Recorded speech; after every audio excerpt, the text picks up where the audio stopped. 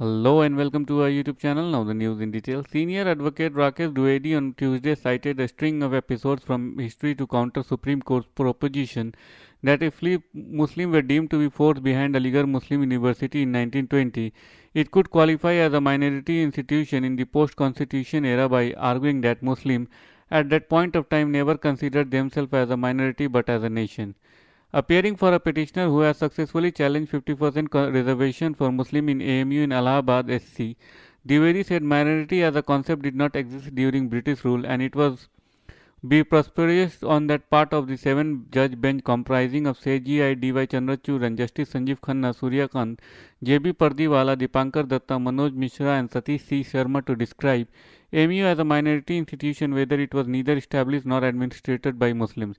He said history showed that Muslims neither considered themselves to be a minority when AMU Act was passed in 1920, nor did the British India government categorize them denominationally. Granting AMU minority status after more than 100 years would endanger its eminence as an institution of national importance, especially when AMU chose not to challenge for more than 40 years the SC Aziz Basha judgment of 1967, which has adjudged it to be a non-minority institution, Dwivedi said. Sir Syed Ahmad Khan had established Muhammad Anglo-Oriental College, whose foundation was laid by the Lord Lytton.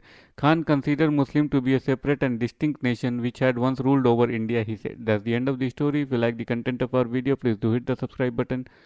Share it with your families and friends and do not forget to post a suggestion in the comment section below. Thank you. Have a great day.